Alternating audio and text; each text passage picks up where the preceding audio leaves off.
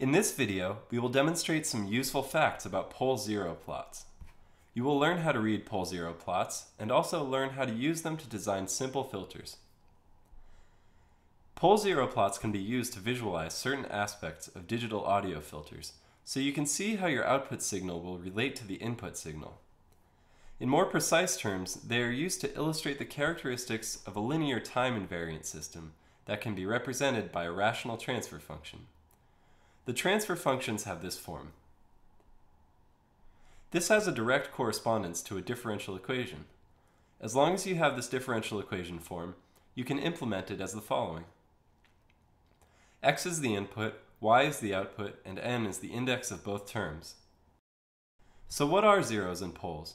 The zeros of this equation are the values for z that make the numerator equal to 0. So they make our transfer function equal to 0. The poles are the roots of the polynomial in the denominator. If we draw the zeros and poles on the complex plane, it will look like this. This is a pole zero plot. It is a unit circle placed in the complex plane. The location of our zeros are represented by zeros, and the location of our poles are represented by x's. Why do we have a unit circle here? A point on the unit circle represents the normalized frequency of the input signal, which has a range of negative pi to pi. This is mapped from 0 to half the sampling frequency. So a given input frequency is written as a polar angle from the x-axis. We can use the combination of our input frequency and the location of the poles and zeros to learn things about our transfer function, such as the frequency response.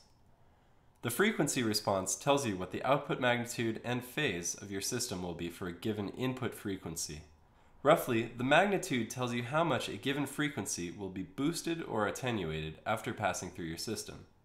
Say we want to determine the magnitude response of frequency z for a filter h, and we are given this pole zero plot.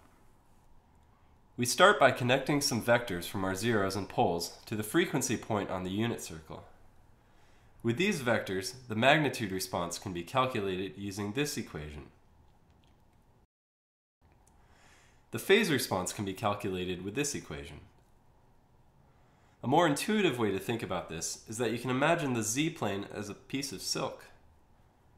When you pinch the silk and pull it up, you create a pole. When you pinch the silk and pull it down, you have a zero. The tension on the unit circle at a given frequency corresponds to the magnitude of your output for that frequency.